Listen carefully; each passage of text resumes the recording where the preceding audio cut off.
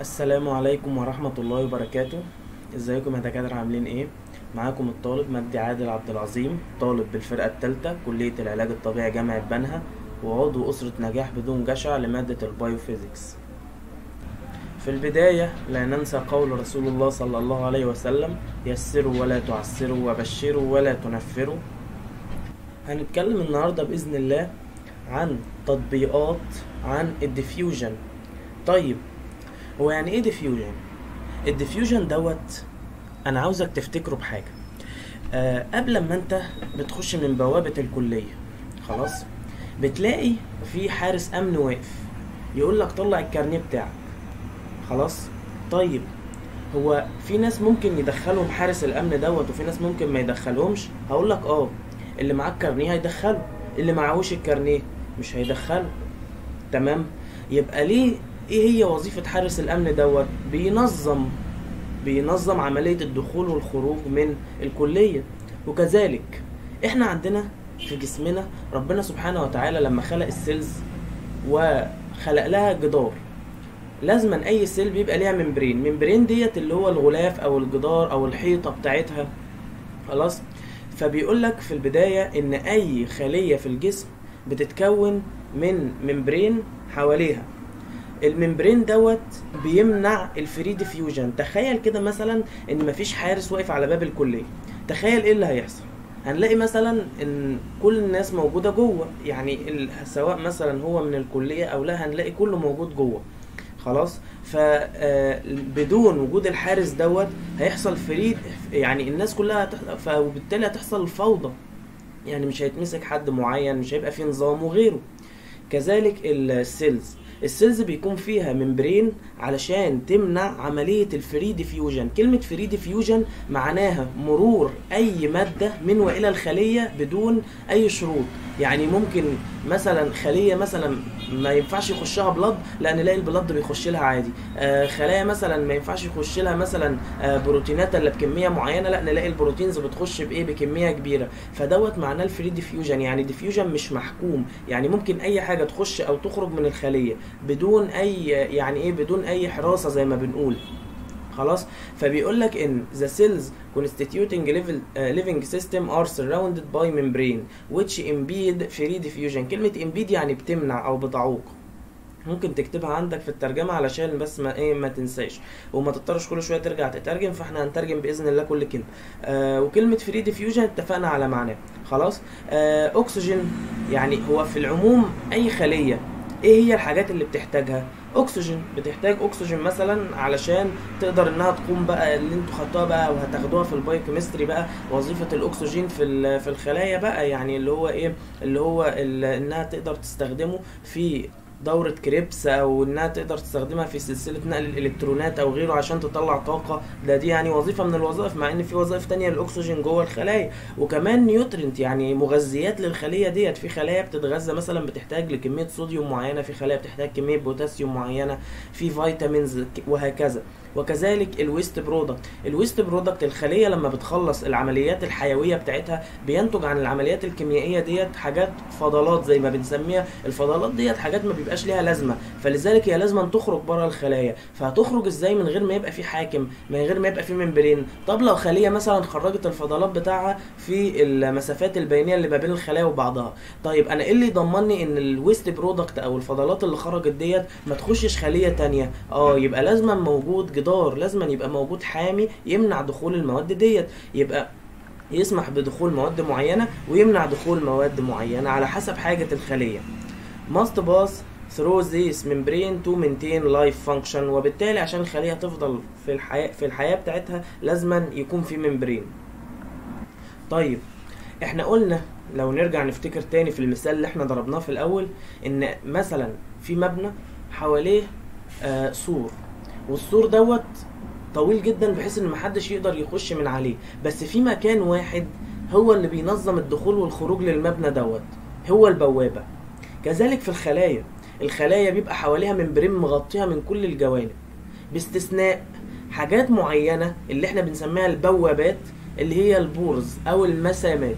المسام ديت تقدر تخش المواد من وإلى الخلية. يعني تقدر تخش الخلية وتخرج منها عن طريق ال pore ديت. فالخلايا بيقول لك إن ال biological membrane أو الغلاف اللي هو الحيوي اللي بيحوط بالخلية دوت بيبقى porous. يعني إيه في في مسام. خلاص. آه بيختلف على حسب الحجم وال density بتاع المواد اللي داخلة. والله هي المادة ديت حجمها هيناسبني ولا لأ؟ هل أنا محتاجها؟ هل ال pore دوت هل المادة حجمها أكبر من المسام؟ يعني مثلا لو جبنا مثلا آه عرض مثلا بوابة آه وليكن 3 متر وعايزين ندخل فيها عربية نقل مثلا كبيرة ضخمة جدا فهل هتقدر العربية النقل تخش في البوابة دي؟ استحالة. ليه؟ لأن ال pore أو البوابة صغيرة. ماشي؟ بالنسبة لعربية النقل. وكذلك هنا ال pores برضو بتختلف. دخول المواد إليها على حسب حجم المادة ديت. وكذلك على حسب الكثافة بتاعتها. فمثلا لو بصينا على الصورة اللي تحت هنا ديت في مواد قدرت إنها تدخل ومواد قدرت إنها ما تدخلش. على حسب حاجة الخلية زي ما قلنا. هنا مثلا هي أدي ال pores وأدي في مواد هنا. يعني العدد اللي بره على عكس العدد اللي جوه على حسب الحاجة. وكذلك هنا برضو هنشوف إن في مواد كبيرة جدا ما قدرتش تخش وده هنتكلم عنه بالتفصيل ما قدرتش تخش للخلايا وفي مواد قدرت إنها تدخل على حسب الحجم اللي مطلوب. هنا بقى بدأ يتناول الموضوع بتاع الحجم بشيء من التفصيل. فهو قام قايل لك إيه؟ قال لك لو ال molecule diffusing molecule ديت معناها ال molecule اللي هيخش جوه الخلايا. بيقول لك لو ال molecule اللي هيخش جوه الخلايا دوت أصغر من حجم المسام بتاعتها وأنا ضربت لك مثال بالعربية النقل والبوابة. ولو بني آدم طبيعي عايز يخش البوابة هيخش عادي. إنما العربية النقل مش هتقدر تخش لأن حجمها أكبر. وكذلك آه بيقول لك بقى إن إيه؟ بيقول لك إن طالما الحجم بتاعها أصغر من حجم المسام خلاص بيقول لك إن الممبرين بتاعها بيقل. بيقل فرصة إن هو آه هيخش وكل حاجة بس هيقل فرصة إنه يدخل molecule تاني. reduce the effective diffusion area decrease the diffusion rate. وركز في دي عشان بتيجي MCQ مثلا أوضة بتستحمل آه سبع أفراد. خلاص؟ دخل فيها خمسة. وأنا هوت أنا مجدي عاوز أخش الأوضة ديت. هل أنا كده عددي هيبقى الكام؟ هيبقى السادس. بدل ما كان في فرصة قبل ما أنا أخش بدل ما كان في فرصة اتنين انهم يخشوا الأوضة لما أنا بدخل كده بقى فرصة إن واحد بس يخش علشان الأوضة ما بتستحملش غير سبعة لما أنا دخلت بقوا ستة وبالتالي مش هيبقى في فرصة غير إن واحد بس يخش. فالفرصة الدخول بعدي قلت وبالتالي إنها decrease ال diffusion rate يعني بتقلل من معدل الديفيوجن أما بقى لو large molecule molecule بقى حجمه أصغر أكبر أنا عذرا أكبر من حجم المسام بيقول لك لا ده هنا بقى بيبقى فيه barrier. يعني إيه بيبقى فيه barrier مانع؟ استحالة أنت تخش أصلا. يعني مش. مش هنقول بقى إنه إيه هيخش وبعدين فرصة دخول molecule تانية أقل. لا ده لو حجمه أكبر استحالة تخش. وكذلك بص هنا على ال molecules ال molecule اللي باللون الأصفر دوت بيقول لك إن هو ما قدرش يدخل أصلا لل membrane. بص عمل قدامه إزاي؟ عمل قدامه زي barrier بوابة منعته إن هو يدخل. أما هنا بص مثلا على ال small molecules كده ال small molecules قدرت إنها تخش بسهولة بس إيه زي ما قلنا إنها قللت فرصة دخول molecules تانية. وكذلك الأحجام بتاعتها بتختلف أهو أحجام ال pores بتختلف. بص حجم ال pore دي مثلا أكيد يعني مش هيبقى قد حجم ال pore دوت مثلا دوت أصغر من التاني. ولذلك هو استنتج قانون مهم قوي. استنتج قانون مهم بيقول لك إن ال net flux of ال molecule اللي هي بيرمز لها بالرمز J ال net flux of ال molecules ديت ديت بتعني عدد الجزيئات اللي بتدخل وعدد الجزيئات اللي بتخرج من آه الخلايا عن طريق ال cell membrane. Given in term of permeability of cell membrane هي بتتأثر بال بالسماحية أو آه قابلية الغشاء إنه يعدي المواد من خلاله. ودوت بيتوقف على حاجتين. بيتوقف على البرميابيليتي زي ما قلنا وعلى الدينستي كثافة المواد اللي داخلة في المنطقة الأولى مطروح منها كثافة المواد اللي داخلة في المنطقة التانية. طيب هي فين المنطقة الأولى وفين المنطقة التانية؟ المقصود بالمنطقة الأولى هنا هي المنطقة اللي بره ال cell membrane. المقصود بالمنطقة التانية هي المنطقة اللي جوه ال cell membrane أو اللي جوه ال cell نفسها اللي جوه الخلايا. خلاص؟ فاحنا كده لو طرحنا عدد الجزيئات اللي بره اللي هي كثافة الجزيئات اللي بره ناقص كثافة الجزيئات اللي جوه هنا في الصورة مثلا يبان أكتر. لو طرحنا عدد الجزيئات اللي هي بره في المنطقة واحد اللي إحنا بنشاور عليها ديت اللي هي المنطقة اللي بره خلاص؟ ناقص كثافة المواد اللي في المنطقة اللي جوه وضربناها في نفاذية ال cell membrane. إيه ده؟ إيه نفاذية ال cell membrane أو سماحية ال cell membrane هقول لك سماحية ال cell membrane بتتوقف على عدة عوامل وهنتكلم عنها بعدين منها مثلا نوعية ال cell membrane منها مثلا الحجم بتاعه وعوامل كتير يعني وكثافة المواد اللي بره واللي جوه زي ما قلنا. أنا دلوقتي لو في أوضة ما بتستحملش غير سبع أفراد هرجع أقول المثال تاني عشان يفهم لك أكتر القانون دوت. أنا لو في أوضة ما بتستحملش غير سبع أفراد. وأنا الشخص السادس اللي دخلت الأوضة ديت. بدخولي أنا قللت احتمالية فرصة إن حد بعدي يخش. أكيد. صح ولا لأ؟ فبدل ما كان اللي المفروض يدخل بعدي يدخل قبلي اتنين لأ ده لما أنا دخلت بقى المفروض اللي يدخل بقى اللي يدخل بعدي هو واحد بس. كذلك في القانون هنا هو هنا حسب على ال net flux of ال molecules اللي هي عدد الجزيئات اللي بتدخل وبتخرج من ال cell membrane وبيساوي حاصل ضرب ال permeability of ال cell membrane اللي هي النفاذية أو السماحية بتاع ال cell membrane إنه يعدي المواد وديت بتعتمد على عدة عوامل تانية في ال cell membrane نفسه. في حاصل طرح آه، آه، آه، الكثافة اللي بره ال cell membrane ناقص الكثافة اللي جوه ال cell membrane طيب هي نفاذية ال cell membrane دي بتعتمد على إيه؟ قال لك إنها بتعتمد على نوع ال membrane نفسه نوع الغلاف اللي بيحوط بال cell اتنين بتعتمد على ال diffusing molecule نوع المواد اللي داخلة واللي خارجة هل مثلا مواد زي ما إحنا قلنا مثلا حجمها كبير؟ هل هي مواد مثلا ال cell محتاجاها ولا لأ أصلا؟ هل كثافتها جوه قد كثافتها بره ولا أكبر؟ فاداك مثال مثلا قال لك لو ال molecules ما بتقدرش تعدي جوه ال membrane فبالتالي يعني بالعقل كده logic إن ال إن ال النفاذية بتاعتها هتبقى zero أكيد. ويبقى هنا ال net flux ب zero لأن حاصل طرح حاصل ضرب zero في أي حاجة ب zero. خلاص. فهو ديت بتحصل في حالة الإيه؟ في حالة إن ال molecules ما قدرش ما قدر- ما قدرتش تخش جوه ال cells. ما كده ما فيش اي ما فيش flux يعني ما فيش مواد دخلت ولا خرجت. وكذلك بيقول لك إن لو ال molecule قدر يعدي من ال cell membrane ال permeability بتبقى عالية. 10 بتبقى قد إيه؟ بتبقى 10 اس ناقص 4 سنتيمتر في الثانية.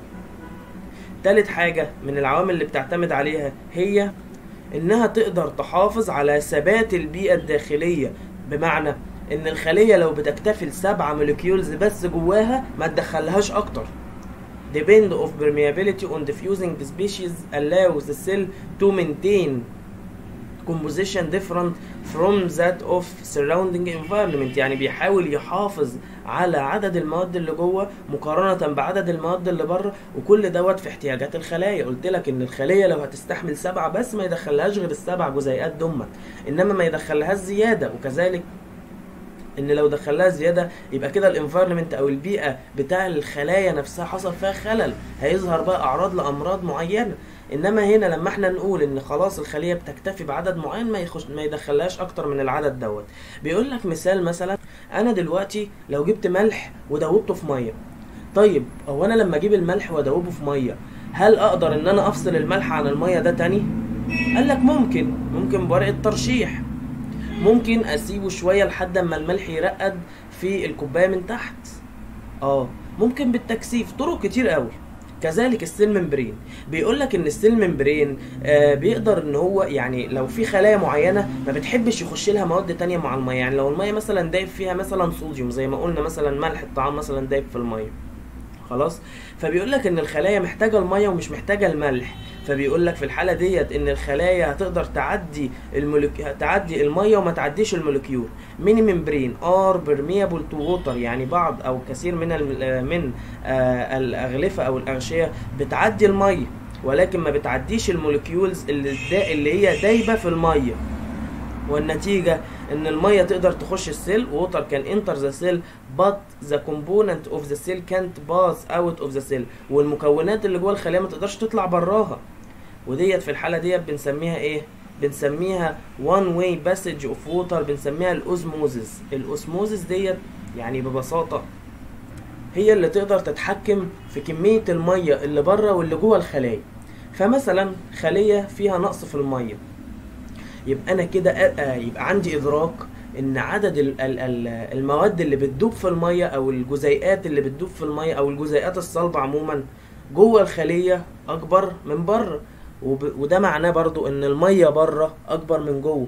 فيبقى معناه إن المية بتتنقل من الكثافة العالية اللي هي برة للكثافة المنخفضة اللي هي جوه كثافة المية. يعني لو المية بي- برة عالية وجوه قليلة المية هتتنقل من برة لجوه وبالتالي مش هتخرج من هتخرج مش هتخرج مش هتسمح لها إنها تخرج لبرة تاني. وهو دوت ال osmosis لأنه بيعمل ضغط بيدخل المية جوه الخلية. ولكن بيمنع إن المية تخرج بره الخلية تاني. وهي ديت الميزة بتاع ال cell membrane ومثال على كده هو ال lenses.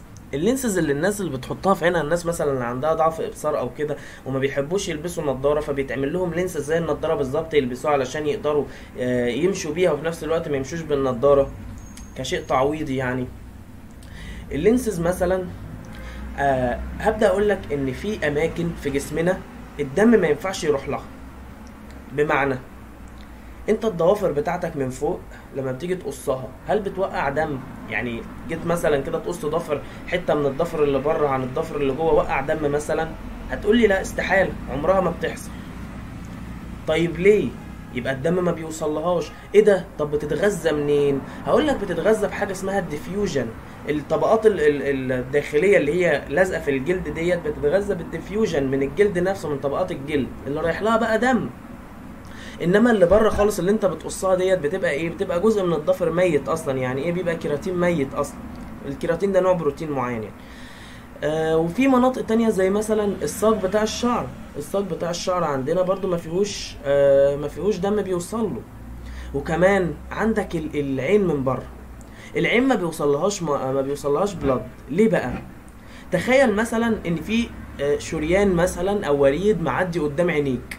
إيه؟ هتشوف إزاي؟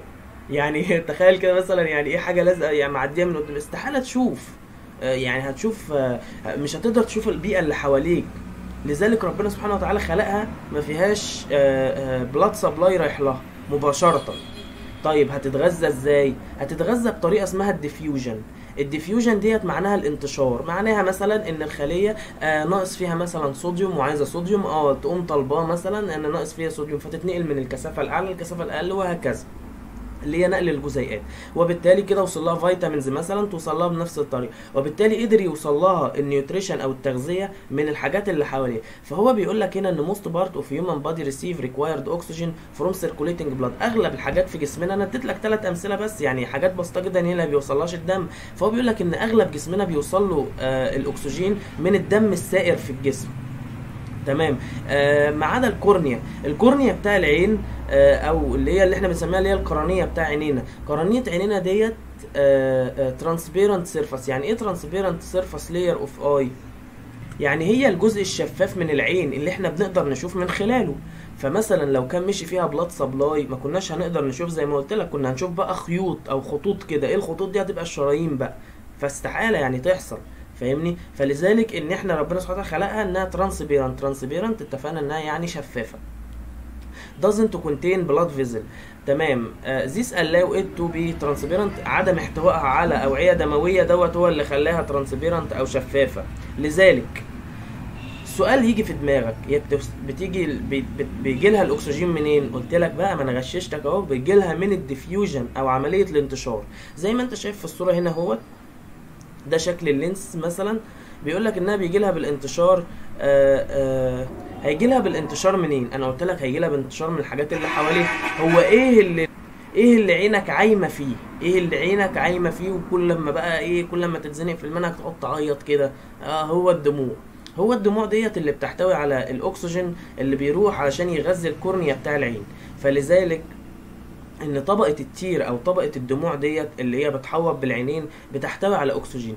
تعالى بقى مثلا شوف بقى المشاكل. لو واحد مثلا عنده جفاف في عينه الأكسجين قل يبقى كده الأكسجين قل لعينيه يبقى دي مشكلة. تلاقي عينه بقى محمرة وتلاقي عينه بتهرشه وعمال يدعك في عينه. كل ده ليه؟ محتاج أكسجين. عينه ما بقاش فيها وتلاقي عينه احمرت. ده معناه إن بقى إيه؟ في blood supply رايح بقى ودي مشكلة كبيرة دي مشكلة كبيرة. لذلك بقى ياخد قطرة بقى يحطها مثلا كل ربع ساعة أو أو ما شابه يعني علاجات. آه إنما بس ال- الفكرة اللي أنت تعرفها إن منطقة إن ال- الأكسجين بيتنقل لل- لل cornea بتاع عينينا بواسطة ال diffusion من ال tear. ال tear ديت دموع من طبقة الدموع اللي هي عايمة فيها.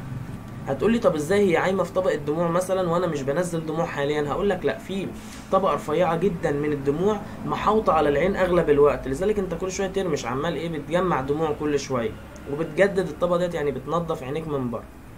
طيب هيجي السؤال في دماغك هو إحنا إزاي بنحط lens أو lenses مثلا على العين؟ وديت طب ما هي ممكن تمنع إن الدموع توصل للعين وبالتالي برضه هنوصل لنفس المشكلة إن العين مش واصل لها أكسجين. هقول لك لا هي معمولة بطريقة زي ما أنت شايف كده في الصورة قدامك دلوقتي هي الطريقة اللي هي معمولة بيها معمولة زي إيه؟ زي إنها بتعدي حاجات من خلالها. آه هنا مثلا أهوت. في الصورة ديت. أهو بيقول لك إنها بتعدي مثلا هنا قدرت إنها تعدي الأكسجين وبتعدي ال water وحاجات من دي يعني ما بتقدرش اللي هي ال water اللي هي ال tear اللي هي الدموع يعني مكون مكونات الدموع. فلذلك هي ما تقدرش ما تعديش لا ده بتعدي كل حاجة من خلالها عادي عن طريق الحركة اللي أنت بتحركها بعينك ديت. حركة عينك ديت عمالة بتجمع السوائل حواليها أو ال fluids أو ال tears حواليها علشان تقدر توفر لها الأكسجين المطلوب. طيب لما باجي أنام لما بتيجي تنام بتقفل الجفن بتاع عينك أغلب الوقت. أو, أنت طول ما أنت نايم قافل جفن عينك أصلا. خلاص؟ فلذلك مفيش بلينكينج مفيش الرمش اللي أنت بتعمله بعينك ده. طب وطالما مفيش رمش يبقى أنت مش هتقدر تجمع السوائل حوالين عينيك. وبالتالي الدموع مش هتتجمع. يبقى أنا هخش برضه في نفس المشكلة لتالت مرة وهي إن الأكسجين هيقل. ده لو أنت لابس lenses وأنت نايم. لذلك لازم تشيل ال lenses قبل ما تنام. ده للناس اللي هي مركبة lenses يعني ننصحهم بكده. وبالتالي الشفافية بتاعة ال cornea هتبقى تكاد تكون يعني شخص ممكن يفقدها لا قدر الله يعني بسبب الموضوع ده. الجزء الثاني بقى من المحاضرة بيتكو بيتكلم فيه عن ال thermodynamic. اتفقنا إن أي كلمة غريبة هنقسمها. كلمة thermo يعني حرارة وكلمة dynamics يعني حركة. فهي الحركة الحرارية أو حركة الحرارة في الجسم. يعني إيه برضو thermodynamic it is the study of relationship between heat work and the site and the associated flow of energy يعني هو بيقول لك ان هو علم بيدرس العلاقة ما بين الحرارة والشغل المبذول and the associated flow of energy الطاقة اللي هي بتطلع العلماء آه، جمعوا آه، أو جمعوا قانون اللي هو الثيرموداينامكس في قانونين مهمين قوي أول قانون إحنا أغلبنا عارفه وهو إن الطاقة لا تفنى ولا تستحدث من العدم ولكن تتحول من صورة إلى صورة أخرى. بمعنى إن أنا لما أجيب مثلا لما أجيب باب مثلا مفتوح وأجي إن أنا أزقه بإيدي. زقة إيدي ديت اسمها طاقة دفع أنا بزق بيها.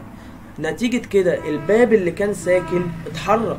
فلذلك الطاقة اللي أنا عملتها أو الشغل المبذول أو الطاقة اللي أنا عملتها اللي هي طاقة الدفع اتحولت أو اترجمت الباب اللي كان ساكن ترجمها على شكل طاقة حركة اتحرك الباب واتقفل. ورجع تاني لوضع السكون. طب هتقول لي فقد الطاقة ديت فين؟ هقول لك لما اتقفل فقد الطاقة ديت في صورة طاقة سكون أو طاقة حرق طاقة وضع. دخلنا في موضوع إن الطاقة دخلت في دائرة مغلقة مش بتخرج منها ولا بتنقطع لأن الطاقة دائمة ولا ولا تفنى ولا تستحدث من العدم ولكنها بتتحول من صورة لصورة أخرى. أنا زقيت الباب بإيدي حولت طاقة الدفع لطاقة حركة. تاني قانون تاني قانون بيقول لك إن الحركة العشوائية أو spontaneous change التغير العشوائي في الطبيعة بيحصل بيحصل من حالة from state of order to state of disorder. طب يعني إيه الكلام ده؟ الكلام دوت بيبقى يعني في مثال كده الدكتور ضربه يعني كويس جدا يعني هنقول المثال دوت. بيقول لك مثلا أنت إيه الأسهل بالنسبة لك؟ إنك آآ آآ تنعكش الأوضة بتاعتك ولا إنك تنظفها؟ يعني إيه الأسهل؟ الأسهل طبعا يعني أغلبنا الأسهل بالنسبة له آه، يعني إنه ينعكش الأوضة. هقول لك إيه الأسهل بالنسبة لك إنك ما تذاكرش ولا تذاكر؟ هقول لك أكيد طبعا يعني إني ما ذاكرش. أنا لما بذاكر مثلا ممكن بجهد نفسي ودماغي وهكذا وهكذا وهكذا. فلا ما الأسهل بالنسبة لي إن أنا ما ذاكرش. هو ده نفس المفهوم عن المثال دوت. بيقول لك إن طالما الحاجة بتتحرك بعدم عشوائية بيبقى دوت الأفضل في النظام. بمعنى إن الجزيئات حركتها العشوائية ديت مع بعضها هي اللي بتوفر لي حتة آه، آه، العمل أداؤه بطريقة صحيحة. بمعنى إن لو مثلا كانت الجزيئات بتمشي linear كده في خط مستقيم مع بعضها كده وإيه من غير الحركه العشوائية بتاعتها لا كان هيحصل diffusion ولا كان هيحصل osmosis ولا الكلام اللي إحنا بنتكلم عليه ده كله. ليه؟ لأن مفيش حركة عشوائية. يعني مثلا دلوقتي إحنا مثلا هتلاقي ما بين الخلايا هتلاقي صوديوم وبوتاسيوم ومغنيسيوم وفيتامينات و waste product وكل دوت ماشي. طب قال لا هو ماشي إزاي؟ هو لو مشي في حركة linear لا هو طبعا هيبقى بقى ماشي الخلية هتعوزه مش هتعرف تجيبه لأنه ماشي زي القطر لحقت تجيبه لحقت ما لحقتش خلاص.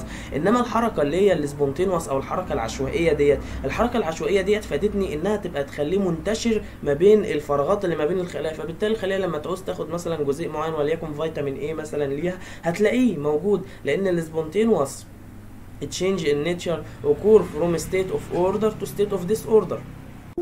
تعالوا بقى نتكلم عن آه القانون الأول للثيرموداينامكس. اللي إحنا قلنا عليه أن الطاقة لا تفنى ولا تستحدث من العدم ولكنها تتحول من صورة إلى صورة أخرى. هحكي لك حكاية كده يعني قد تكون يعني ممكن ما تخشش في الامتحان بس يعني هو الدكتور ذكرها يعني لفهمك مش أكتر. القانون دوت آه آه اللي اكتشفه هو آه عالم ألماني اسمه روبرت ماير. سنة 1814 ل 1878 هو من الناس اللي نصوا على القانون ده يعني. ماير يا عم كان موجود سنة 1840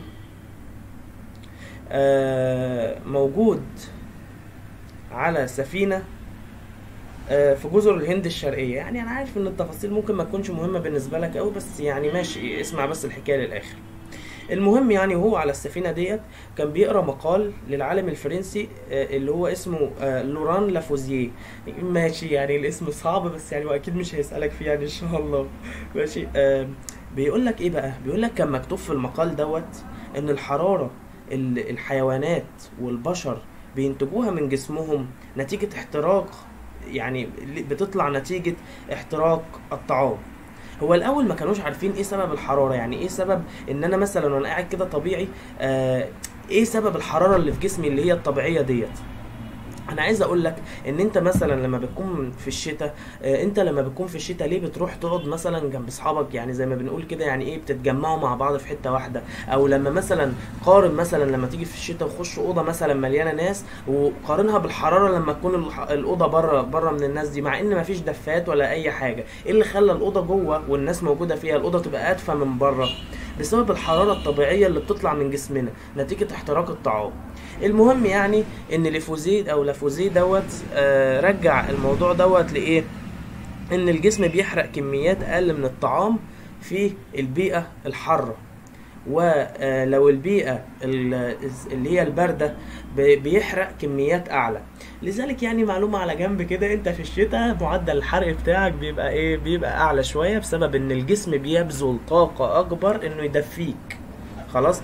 فأنا مثلا في بيئة حارة الاحتراق هيحصل ليه؟ يعني ليه هيحصل بكميات كبيرة. هو أنا محتاج للحرارة أصلا؟ أنا مش محتاج للحرارة وطبعا يعني مفهوم الحرارة إن الحرارة ديت موجودة في جسمنا برضو علشان تفاعلات كيميائية تتم. في تفاعلات كيميائية ما بتتمش إلا تحت حرارة معينة. فبس أنا عايز أنبهك للجزئية دي. فهو بيقول لك إن معدل الاحتراق في جسمنا بيزيد أثناء السقعه وبيقل في البيئات الحارة. زي عندنا في مصر مثلا. انت في وقت الشتاء معدل الاحتراق أو معدل الحرارة اللي خارجة من جسمك بتبقى آآ آآ اعلى من معدل الحرارة اللي بتخرج من جسمك في فترة الصيف لأن هو مش محتاج يدفي جسمه. فقال لك إن لافوزيه further noted that less food is burned يعني معدل الطعام بيتحرق أقل by the body in hot environment في بيئه حاره على عكس البيئة الباردة لذلك انت بقى إيه أسباب الجوع الليلي بقى في الشتاء بتبقى ما شاء الله فيل داخل المطبخ. إيه بقى يعني إيه داخل؟ يعني ما فيش بعد كده داخل اخد آكل الأكل كله في الشتاء. الجوع الليل في الشتاء دوت بيبقى دوت ممكن سبب من أسبابه إن هو انت عاوز تدفى فبتاكل علشان الحرق يعلى وتطلع حرارة فتدفي نفسك. بيقول لك بقى إيه؟ بيقول لك العالم دوت طبعا كان ألماني. يعني ألمانيا يعني السقعه يعني البرد والتلج والليلة دي. لما كان في ألمانيا هو جه إبحارا بقى راح للمناطق الاستوائية. ماشي؟ كلمة آه تروبكس دي اكتبها إن هي المناطق الاستوائية. خلاص؟ بيقول لك لقى إن طاقم السفينة بتاعه عانوا من حمى شديدة جدا. طيب. ولما لقاهم بيعانوا من الحمى ديت قام بقى إيه اداهم علاج الحمى اللي هو المعهود أو اللي كان في وقتها اداهولهم يعني. بيقول لك بقى لما جه يشوف الدم بتاعهم حلل لهم دم فينوس من فين خد دم من فين؟ لا هو يعني المفروض الجزئية ديت يعني إيه هقولها لكم سريعا كده عشان تفهموني أكتر.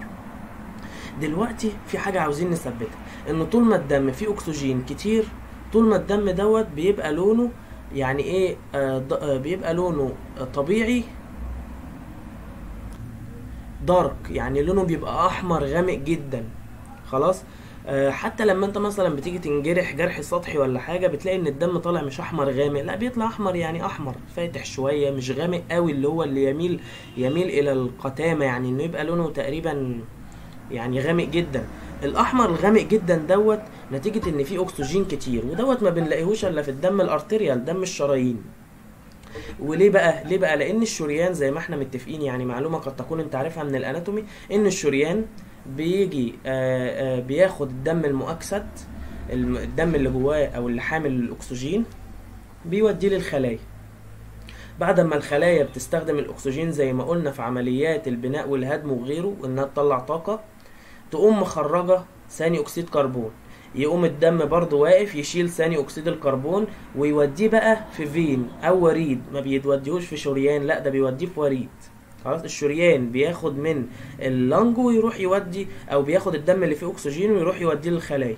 ال vein أو أو الوريد بياخد الدم اللي فيه ثاني أكسيد كربون وما فيهوش أكسجين خالص ياخده من الخلايا ويوديه لل- للرئة تاني عشان يتأكسد ويمشي في الدورة الدموية. دي, دي كلها الدورة الدموية.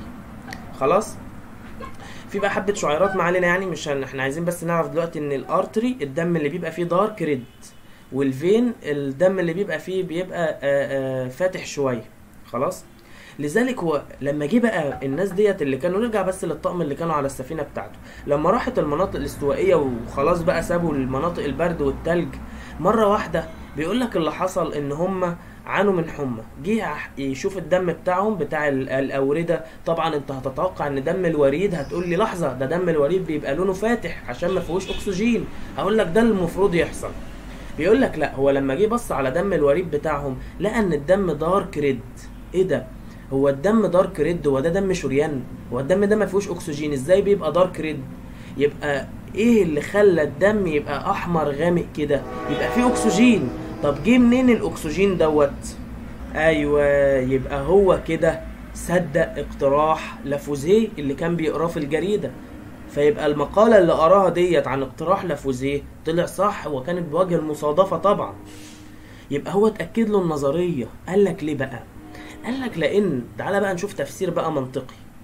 الجماعة اللي كانوا الطقم اللي معاه دوت لما كان موجود في المناطق الباردة أو المناطق التلج وجي راحوا تاني للمناطق الاستوائية المناطق الحر جدا إحنا خلاص مثبتين معلومة إن الحرق في الحرارة أو في الوقت الحر بيبقى أقل من الحرق في وقت الإيه؟ في وقت الساعة واتفقنا ليه؟ عرفنا عشان الحرارة الجسم هيطلعها هو محتاج حرارة عشان يدفيه فهيبقى الحرارة أكتر في الوقت الساعة فأنا هحتاج يبقى الحرق أعلى. إنما على العكس بقى في الوقت الحر أنا مش محتاج حرارة زيادة على الحرارة اللي بره فبالتالي الحرق هيقل. تمام. قال لك بقى إن الطقم بتاعه كان جاي من مناطق باردة مناطق الباردة يعني الحرق بتاعهم ماله؟ عالي جدع. طالما الحرق بتاعهم عالي في المناطق الباردة وبيطلعوا طاقة أعلى عشان يطلعوا حرارة لما ودهم صدمهم مرة واحدة بمناطق استوائية لقى إن معدل الحرق قل مرة واحدة في الجسم. نقص معدل الحرق في الجسم الأكسجين جوه زاد لأن الحرق قل يعني بمعنى إيه؟ آه المفروض المفروض أنا كنت بدخل مثلا مثلا على سبيل المثال آه آه ألف أكسجيناية مثلا. أنا بديها لك يعني مثال وما بتحصلش. أنا بدخل مثلا ألف أكسجيناية للجسم واحد مثلا في منطقة باردة بيستهلك الألف كلهم. خلاص هو الجسم بياخد على قد الاستهلاك. طيب الشخص ده بقى اللي هو بيستهلك ألف أكسجيناية في اليوم في وقت السقعة دوت جبته حطيته في حتة حر مرة واحدة. إيه اللي بيحصل له؟ اللي بيحصل له إن الألف أكسجيناية دوت المفروض الحرق قل عشان المنطقة حر. فالمفروض الألف أكسجيناية اللي الجسم بيستهلكهم هيستهلك منهم خمسين بس. إيه ده؟ طب الخمسين الباقيين هيروحوا فين؟ أيوه. هنا بقى أنت فهمتني. هنا بقى العالم دوت لما جه يحلل الدم بتاعهم لقى إن الدم أحمر قاتم. يبقى الأكسجين ده جه منين؟ نتيجة إن الحرق قل مرة واحدة. فيبقى في فائض أكسجين مشي مع ال vein اللي هو المفروض يروح يغذي. المفروض يروح بدم فيه ثاني أكسيد كربون. يبقى الخلايا كده خلاص اكتفت اكتفت بخمسين قالت مش عايزين الخمسين الباقية. فرمتهم في الإيه؟ في ال vein. يبقى حصل للناس دوت ال circulation بتاعتهم حصلت مشكلة حصل فيها مشكلة. نتيجة لكده حصل حمى. فدوت أظن إن أنت فهمت الموضوع دوت. فهو بقى استنتج قانون. القانون دوت استنتجه بإيه بقى؟ قال لك إن طالما كده يبقى أنا ممكن أقدر أحسب بالقانون دوت إن أنا في طاقة في طاقة في الجسم. أنت وأنت قاعد بتسمع المحاضرة دلوقتي في حرارة خارجة منك. حتى عن نفسك نفسك. بص على نفسك هتلاقي نفسك فيه حرارة. بص فهو قام قايل لك إيه بقى؟ اخترع قانون قال لك إن ال energy released اللي هي الطاقة اللي, اللي بتتحرر في الجسم نتيجة عمليات البناء والهضم والهدم أو نتيجة الاحتراق بيخرج طاقة. الطاقة ديت هيرمز لها بالرمز delta U. هي مش AU هي delta U. بس هي مكتوبة غلط في ال PDF عدلوها عندكم يعني. خلاص؟ الطاقة اللي هي released من الج... من عمليات آه، إن أنا أنا دلوقتي كلت. زي ما في الصورة هنا مثلا واحد كل ايس كريم مثلا أهو. واحد مثلا إيه واحد رايق كده في الحر قام واكل ايس كريم أكل الايس كريم دوت بنعتبرها أكل. الأكل دوت بيطلع طاقة بمقدار delta U. خلاص؟ الطاقة ديت بتخرج من الجسم على صورتين صورة حرارة وصورة work جهد انت بتعمله. طب أنا دلوقتي قاعد اهو بسمع المحاضرة مش بعمل مجهود. آه يبقى أنت كده مفيش جهد الجهد اللي طالع منك قليل فهتخرج أغلبه على صورة حرارة. يبقى آه ال delta U بتساوي ال delta U اللي هي الطاقة اللي بتطلع نتيجة احتراق الغذاء بتساوي Q اللي هي الحرارة اللي الجسم بيفقدها طبيعيا وهو قاعد كده أو ممكن لما بيعمل مجهود بيطلع منه حرارة. ناقص ال work ال W ال work اللي هو الجهد اللي أنت بتعمله. اطرح دي من دي هيطلع لك delta U. هنا برضو مثال. واحد أهوت مثال يفهمك الموضوع أكتر. واحد أهوت أكل طعام. هو قال لك هنا إيه هنا إيه؟ آه food مثلا. خلاص؟ ثانية. آه هنا مثلا قال لك إن في food اهو في واحد أكل خلاص واحد أكل. الأكل اللي هو أكله دوت لما نزل معدته دوت إحنا سميناه delta U. ماشي؟ نزل معدته delta U. طلع أول حاجة على صورة حرارة من جسمه هوت اللي هي ال Q اللي هو بيش... اللي أنا مشاور عليها بالسهم دي work مجهود هو عمله هنا مثلا في الصورة دي طفل مثلا أكل آه ايس كريم ديت اعتبرناها chemical energy أو delta U الجسم خدها وطلع منها طاقة اللي هي delta U الطفل ده ركب عجلة ومعرفش إيه. العجلة دي اعتبرناها work وطبعا نتيجة إنه عمل مجهود طلع منه حرارة فديت اللي اعتبرناها ال Q فلو جينا نحسب ال- الطاقة بتاع الراجل دوت أو ال main energy بتاع جسمه هنطرح ال Q اللي هي الحرارة اللي خارجة من جسمه ناقص ال work اللي هو عمله. مثال كمان بيقول لك إن الشمس يعني ده يعني ممكن يبقى أصعب شوية بس بلاش يعني نقوله آه، بلاش بلاش. آه المهم بقى نكون فهمنا يعني وكده إحنا وصلنا لنهاية ال- الجزء دوت والحمد لله رب العالمين. آم، شكرا والسلام عليكم ورحمة الله وبركاته.